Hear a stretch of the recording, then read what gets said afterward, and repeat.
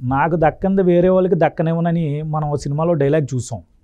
ఇప్పుడు అదే పందాలో జగన్మోహన్ రెడ్డి గారు కొనసాగుతున్నట్టుగా అనిపిస్తుంది. ఏంటంటే ఈయన తెస్తున్న అప్పులు చూస్తుంటే రేపొద్దున వచ్చే ప్రభుత్వాలు కూడా అప్పులు తీర్చుకోవడానికి పనిచేయాలన్నట్టుగా అదేవిధంగా అభివృద్ధికి సంబంధించి గత ప్రభుత్వం చేసిన ప్రణాళికను కూడా నాశనం చేసేసి అంటే ఒక ఆర్ఫై జోన్ అనేది మనం చూసాం అమరావతి ఇటీవలో. ఆ ఆర్ ఫైవ్ జోన్ను కూడా రేపు వచ్చే ప్రభుత్వాలు ఎక్కడ నిర్మించేస్తాయో రాష్ట్రాన్ని ఎక్కడ బాగు చేసేస్తాయో ప్రజలను ఎక్కడ ఉపాధి కల్పించేస్తాయో అని అది కూడా నాశనం చేసేయాలని ఒక పక్కా ప్రణాళికతో దుర్మార్గంగా జగన్మోహన్ రెడ్డి ముందుకెళ్తున్నాడని ఈరోజు ప్రతిపక్షాలు ఆరోపిస్తున్నాయి. సో మీ అభిప్రాయం ఏంటి? నిజంగా జగన్మోహన్ రెడ్డి గారు అంత క్రూయల్ థింకింగ్లో ఉన్నాడంటారా? నిజంగా అలాగే కొనసాగుతుందంటారా ప్రభుత్వం కూడా? ఇప్పుడు మనకి తెలుగులో ఒక సామెత ఉంది. కాపరం చేసే తీరు కాళ్ళగోళ్ళ నాడే తెలుసుద్ది అని చెప్పని. జగన్మోహన్ రెడ్డి గారు ముఖ్యమంత్రిగా బాధ్యతలు చేపట్టిన తర్వాత ఈయన పరిపాలనా తీరు ఎట్లా ఉండబోతుంది అనేది మొదటి వారంలోనే ఉన్నతాధికారులతోటి సమీక్షా సమావేశం పెట్టుకున్న ప్రజావేదికను కూల్చేయడం ద్వారా ఆయనే ఈ రాష్ట్రానికి తెలియజేశారు. ఇన్ఫ్యాక్ట్ ఈ రాష్ట్రానికే కాదు దేశానికి కూడా తెలియజేశారు. నాది డిస్ట్రక్టివ్ గవర్నమెంటే కాదు కన్స్ట్ర డిస్ట్రక్టివ్ గవర్నమెంటే కానీ కన్స్ట్రక్టివ్ గవర్నమెంట్ కాదు అని చెప్పని చాలా స్పష్టమైన సంకేతం ఆయన తెలియజేశారు. కాకపోతే ఏంటంటే ప్రజలు అర్థం చేసుకోవడం కొంచెం లేట్ అయింది. అంటే ఎంత డిస్ట్రక్టివ్ గవర్నమెంట్ అనేది దాన్ని అర్థం చేసుకోవడం కొద్ది టైం పట్టింది అంతే. ప్రజలు ఇవాళ ఒక్కొక్కరు ఒక్కొక్కరుగా ఎవరి కిందకి నీళ్ళు వస్తే వాళ్ళు వాళ్ళు రియలైజ్ అవుతా వచ్చారు ఇవాళ. చాలా హై ఎక్స్పెక్టేషన్ తోటి నూట యాభై ఒక్క సీట్లతోటి అధికారం కట్టబెట్టిన జగన్మోహన్ రెడ్డి గారు రాష్ట్రానికి చేసిన వాగ్దానాలు వేరు. రాష్ట్ర ప్రజానీకానికి కల్పించిన ఆశల సౌదాలు వేరు. ఆయన ఏం చెప్తా వచ్చారు? ఇది పదమూడు జిల్లాలతో ఏర్పడిన చిన్న రాష్ట్రం. నాకు మెజార్టీ ఎంపీ స్థానాలు ఇవ్వండి. నేను చంద్రబాబు నాయుడు లాగా కేంద్రం దగ్గర సాగిలపడే నైజం కాదు. నేను పోరాట యోధుడిని నాకు గనక మీరు మెజార్టీ ఎంపీ స్థానాలు ఇస్తే నేను కేంద్రంలో అధికారంలో ఎవరున్నా వాళ్ళ మెడలోంచి ప్రత్యేక హోదా సాధిస్తా. ప్రత్యేక హోదా సాధించిన పర్యవసానం పదమూడు జిల్లాలని పదమూడు హైదరాబాదులుగా అభివృద్ధి మనం చేసుకోగలుగుతాం మనం సిఏఏ కన్వెన్షన్స్ పెట్టవసరం లేదు. దావోస్ పర్యటన చేయవసరం లేదు. మనం ఇచ్చే వెసులుబాట్ల మూలాన ప్రత్యేక హోదాలో ఉండే వెసులుబాట్ల మూలాన ప్రపంచవ్యాప్తంగా ఉన్న పెట్టుబడిదారులు అందరూ వచ్చి ఆంధ్రప్రదేశ్లో పెట్టుబడులు పెడతారు. మీకు వలసలెళ్ళే అవసరం లేని ఉజ్వలమైన భవిష్యత్తు కల్పిస్తా అని చెప్పని యూనివర్సిటీలు కాలేజీల చుట్టూ తిరిగి యువబేరియన్ సదస్సులు ఏర్పాటు చేసి యువతలో ఒక అద్భుతమైన స్వప్నాల్ని సృష్టించాడు ఆయన. అరిచేతిలో వైకుంఠం చూపించాడు ఆయన. అదే భ్రమంలో ఉన్న యువత కూడా చంద్రబాబు నాయుడు గారికి డెబ్బై సంవత్సరాల దగ్గరలో ఉన్నాయి. ఈయన లేట్ ఫార్టీస్లో ఉన్నాడు. కొత్త జనరేషన్ నాయకుడు ఈయన ఈయన ఆలోచనలు చాలా ప్రోగ్రెసివ్గా కన్స్ట్రక్టివ్గా ఉంటాయనే ఒక నమ్మకంతో తమకు ఒక అద్భుతమైన భవిష్యత్తు దక్కుతుందనే ఒక అంచనాలతోటి ఆయన ఓట్లేయటం జరిగింది. కానీ వాస్తవ పరిస్థితి ఏంటి అంటే మీరు ఇందాక ప్రస్తావించిన ఆ క్రూయాలిటీ అనే పదం చాలా చిన్నది. మనం గతంలో విక్రమ్ ద అపరిచితుడు అని ఒక సినిమా చూసాం. మల్టిపుల్ పర్సనాలిటీ డిజార్డర్ అని చెప్పని రకరకాల షేడ్లు జగన్మోహన్ రెడ్డి గారిలో నుంచి ఈ నాలుగు సంవత్సరాల రెండు రెండు నెలల కాలంలో రాష్ట్ర ప్రజలకి ఎవరు కోరుకున్న యాంగిల్లో వాళ్ళకి ఆ పర్సనాలిటీ కనపడటం మొదలైంది. ఎన్నికలకు ముందు ఆయన కనిపించింది ఎట్లుందంటే మనకి కృష్ణావతారం సినిమాలో ఎన్టీ రామారావు గారు విశ్వరూపం చూపిస్తాడు శ్రీకృష్ణుడిగా. మొత్తం విశ్వం ఆ రూపంలోనే కనిపిస్తుంది. అట్లా కనిపించిన జగన్మోహన్ రెడ్డి గారు అధికారంలోకి వచ్చిన తర్వాత రాష్ట్ర ప్రజలకి కొంతమందికి భస్మాసురులాగా కనిపించాడు కొంతమందికి బకాసురులాగా కనిపించాడు. అంటే ఆయన పాలన వల్ల తీసుకుంటున్న నిర్ణయాల పర్యవసానం. ఆయన మనిషి అట్లానే ఉన్నాడు. కానీ ఆ పాలన పర్యవసానాలు ప్రజలకి ఒక్కొక్క వర్గం మీద విరుచుకుపడుతున్న ఆ ఉపద్రవాల పర్యవసానం ఇవాళ ప్రజలు భయాందోళనలో భీతిలిపోయే పరిస్థితులు ఎదురవుతూ ఉన్నాయి. రాష్ట్రానికి గుండెకాయలాగా ఉండాల్సిన రాజధాని. పదమూడు జిల్లాల చిన్న రాష్ట్రం కాబట్టి విజయవాడ సమీపంలో మీరు తీసుకున్న రాజధాని నిర్ణయానికి నేను ఏకగ్రీవంగా మద్దతు తెలుపుతున్నా మనస్ఫూర్తిగా స్వాగతిస్తున్నా అని చెప్పని అసెంబ్లీలో ప్రకటించిన జగన్మోహన్ రెడ్డి గారు.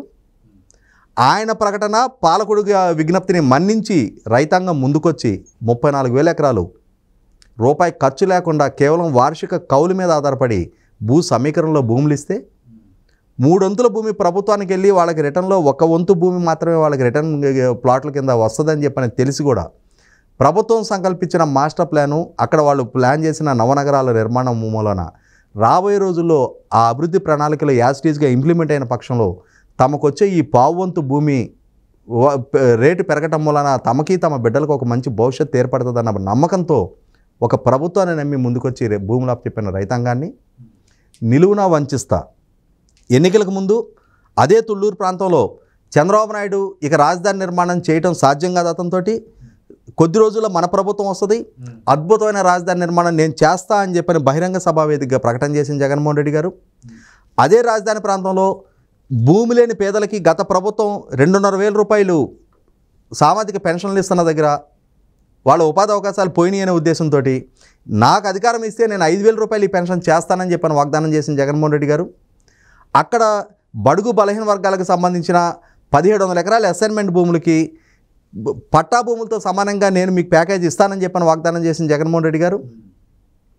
అమరావతిలోనే రాజధాని కొనసాగుతుంది అని చెప్పని పు- పుంకాను పుంకాలుగా వాళ్ళ పార్టీ శ్రేణులు మొత్తం కూడా ప్రజలకు నమ్మకం కల్పించే స్టేట్మెంట్లు ఇచ్చిన వైసీపీ పార్టీ అధికారంలోకి వచ్చిన తర్వాత మూడు రాజధానుల పేరిట ఒక విధ్వంసకర నిర్ణయం తీసుకొని ఈరోజు రాష్ట్రానికి మూడు రాజధానుల సంగతి దేవుడేరికి అసలు ఒక్క రాజధాని కూడా ఏదో చెప్పుకోలేని ఒక అసందిగ్ధ పరిస్థితిలో ఒక సందిగ్ధ పరిస్థితిలో అసందిగ్ధంగా సందిగ్ధ పరిస్థితిలో రాష్ట్ర ఐదు కోట్ల మంది ప్రజానీకాన్ని కూడా ఒక అయోమయపు స్థితిలోకి నెట్టేసిన ప- పరిస్థితులు పరిణామాలు మనం చూస్తూ ఉన్నాం. ఇటువంటి నేపథ్యంలో జగన్మోహన్ రెడ్డి గారు ఆయన పార్టీలో ఉన్న కీలక స్థానాల్లో ఉన్న నాయకులు వాళ్ళు ఈ అమరావతి రాజధానికి వ్యతిరేకంగా పలు పలు స్టేట్మెంట్లు ఇచ్చిన పర్యవసానం అది శ్మశానం అని చెప్పని రాజ్యాంగబద్ధ హోదాలో ఉన్న ఒక స్పీకర్ స్థానంలో ఉన్న తమ్మినేని సీతారాం గారు ప్రకటన చేయటం. అది ఎడారి లాంటిది అని చెప్పని బొత్స సత్యనారాయణ గారు లాంటి సీనియర్ మంత్రి వ్యాఖ్యలు చేయటం. అది కట్టుబడికి పనికిరాదు అది ముంపు ప్రాంతం అని చెప్పని చెన్నై మెడ్రాస్ ఐఐటి నిపుణులు అక్కడ మాకు రిపోర్ట్ ఇచ్చారు. అక్కడ కట్టుబడికి చాలా ఎక్కువ ఖరీదవుతుంది అని చెప్పని బొత్స సత్యనారాయణ గారు స్టేట్మెంట్ ఇవ్వడం బోస్టల్ కన్సల్టెన్సీ అనేది ఒక ఒక బోస్టల్ కన్సల్టెన్సీ అని చెప్పని ఒక కన్సల్టెన్సీని అపాయింట్ చేయడం హై లెవెల్ కమిటీ అని చెప్పని క్యాబినెట్ సహచరులతో కమిటీ అపాయింట్ చేయడం వీటన్నిటి రిపోర్ట్లు ఒక అంటే ఆల్రెడీ ఆర్కిస్ట్రేటెడ్ ఇవన్నీ కూడా. జగన్మోహన్ రెడ్డి గారి మనసులో ఏది ఉందో దాన్ని అమలుపరచడానికి ఏర్పాటు చేసిన ఈ కమిటీలు ఈ రిపోర్ట్లు అన్నిటి పర్యవసానం. రాష్ట్రంలో మూడు రాజధానుల పేరిట ఒక నిర్ణయం తీసుకొని ఆ తీసుకున్న పర్యవసానం ఎన్నికల ముందు చేసిన వాగ్దానాలు ప్రకటనలు మొత్తం కూడా గాలికి వదిలేసి అక్కడ రైతాంగంతో ఒక ప్రభుత్వం చేసుకున్న ఒప్పందాన్ని విస్మరించి తిలోదకాలిచ్చి ఇవాళ ఆ రైతాంగం మీద ప్రయోగిస్తున్న నిర్బంధకాండ వాళ్ళని కే కేసులు పాలు చేయటం ఎస్సీల మీదే ఎస్సీ ఎట్రియాస్టీ యాక్టులు పెట్టడం వాళ్ళ బాత్రూమ్ల మీద డ్రోన్లు ఎగరేయటం వాళ్ళని ముళ్ళకంచెల్లో ముళ్ళ వేసి ఈడ్చిన తీరు వాళ్ళ మీద ప్రయోగించిన లాఠీ ఛార్జీలు. బట్టలు చిరిగిపోయేటట్టు మహిళల్ని కొట్టిన తీరు. YCP party social media morphing ఫోటోలతోటి morphing వీడియోలతోటి అమరావతి మహిళల్ని వేధించిన తీరు. వాళ్ళు పాదయాత్రలు పెట్టుకున్న సందర్భంగా వాళ్ళ మీద చేసిన దాడులు దౌర్జన్యాలు పోలీసు నిర్బంధాలు వీటికి కొనసాగింపుగా జగన్మోహన్ రెడ్డి గారు. భవిష్యత్తులో కూడా అమరావతి రాజధాని అది రాజధానిగా కొనసాగకూడదు అని చెప్పని ఒకే ఒక లక్ష్యంతో అక్కడ సంపద సృష్టి అనేది జరగడానికి వీల్లేదనే ఉద్దేశంతో వాస్తవంగా అమరావతి రైతులతోటి ప్రభుత్వం చేసుకున్న సిఆర్డీఏ చేసుకున్న ఒప్పందంలో నైన్ వన్ ఫోర్ అనే ఒక క్లాజ్ ఉంటుంది. ఆ నైన్ వన్ ఫోర్ క్లాజ్ ప్రకారం ప్రభుత్వం అంటే మాస్టర్ ప్లాన్ని యథావిధిగా ఇంప్లిమెంట్ చేయాలి. ఆ ఇంప్లిమెంట్ చేసిన మాస్టర్ ప్లాన్ ప్రకారం ఐదు సంవత్సరాల్లో ఎంత గ్రోత్ వస్తుంది పది సంవత్సరాలు ఎంత గ్రోత్ వస్తుంది అనేది గత ప్రభుత్వం రైతులకి ఒక ఒప్పందం చేసుకుంది. ఆ ఒప్పందాన్ని యాస్టీస్గా అమలుపరచాల్సిన దగ్గర రైతులకు అభివృద్ధి చేసిన ప్లాట్లు ఇవ్వాల్సిన దగ్గర అవేమీ అమలుపరచకుండానే గతంలో మూడు రాజధానుల నిర్ణయానికి వ్యతిరేకంగా రాజధాని రైతులు కోర్టుకెళ్ళినప్పుడు రెండు వేల ఇరవై రెండు మార్చి మూడో తారీఖు రోజు గౌరవ హైకోర్టు ఈ- మీరు తీసుకున్న మూడు రాజధానుల నిర్ణయం చెల్లనేరదు. అమరావతి మాత్రం ఏకైక రాజధానిగా ఉంటుంది అని చెప్పని స్పష్టమైన తీర్పిచ్చిన దగ్గర మీరు మూడు రాజధానుల పట్ల ఏదైనా నిర్ణయం చేయాలి అని అంటే మీ ఆంధ్రప్రదేశ్ అసెంబ్లీకి లెజిస్లేషన్ చేసే అధికారమే లేదు శాసనసభకు ఆ హక్కు లేదు అని చెప్పని తీర్పిచ్చిన దగ్గర మీరు ఏదైనా దీంట్లో మార్పు చేర్పులు చేయాలి అని అంటే విభజన చట్టం ద్వారా ఏర్పడిన రాజధాని గురించి మరొకసారి మార్పు జరగాలి అంటే ఇది పార్లమెంటులో విభజన చట్టానికి సవరణ చేసిన తర్వాత మాత్రం అది చెల్లుబాటు అవుతుంది తప్ప మీకు ఆంధ్రప్రదేశ్ ప్రభుత్వానికి ఆ హక్కు లేదు అని చెప్పిన స్పష్టమైన తీర్పిచ్చిన తర్వాత మళ్ళీ జగన్మోహన్ రెడ్డి గారి ప్రభుత్వం లెజిస్లేషన్ చేసే హక్కే లేదు అని చెప్పని మీకు ఒక తీర్పు గౌ ఆంధ్రప్రదేశ్ హైకోర్టు ఇచ్చిన తర్వాత దాని మీద ఆంధ్రప్రదేశ్ ప్ర ప్రభుత్వం గౌరవ సుప్రీంకోర్టుకి వెళ్ళి సుప్రీంకోర్టులో కూడా ఆంధ్రప్రదేశ్ హైకోర్టు ఇచ్చిన తీర్పు మీద స్టే ఇవ్వనప్పుడు ఇప్పటికీ ఆంధ్రప్రదేశ్ హైకోర్టు తీర్పే అమల్లో ఉండగా రెండు వేల ఇరవై రెండు మార్చి మూడో తారీఖు నుంచి ఇప్పటికీ ఆ తీర్పుని అమలుపరిచే ప్రయత్నం చేయకపోగా ఇంకా పైగా లెజిస్లేషన్ చేసే అధికారం లేదు అని చెప్పిన తర్వాత మాస్టర్ ప్లాన్లో మార్పు చేర్పులు చేస్తా.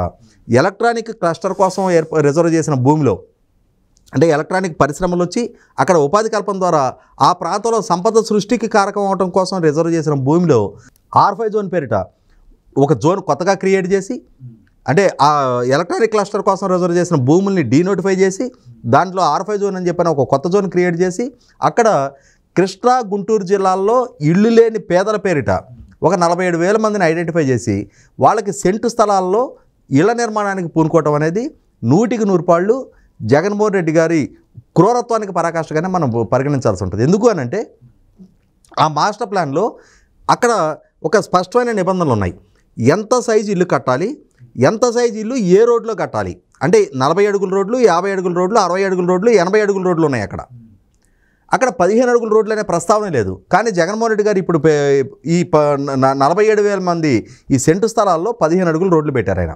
వాస్తవంగా మీరు గమనించుకుంటే పంతొమ్మిది వందల డెబ్బై దశకంలో ఇందిరాగాంధీ గారు కే ప్రధానమంత్రిగా ఉన్న టైంలో ఆంధ్రప్రదేశ్లో కాంగ్రెస్ ప్రభుత్వం హయాంలో ఆ రోజుల్లో దళిత బహుజనులకి మూడు సెంట్లు ఇళ్ళ స్థలాలు ఇచ్చేవాళ్ళు.